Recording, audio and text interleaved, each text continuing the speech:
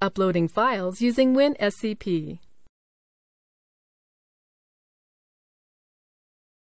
This tutorial assumes you already have WinSCP running on your computer and connected to a remote server. Now let's learn how to upload or transfer files from our computer to a remote server. Select the files we want to upload here in our local computer window. Hold down the Control key to select multiple files for uploading. Click Copy. Click Copy again. That's it! We've successfully uploaded the selected files to the remote server, and they are now also displayed here in the remote server window.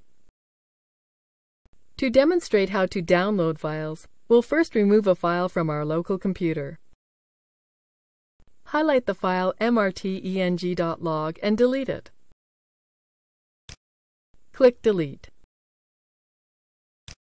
Now let's download the file mrteng.log from the remote server to our local computer. Select the file here. Then click Copy. Click Copy again. There it is!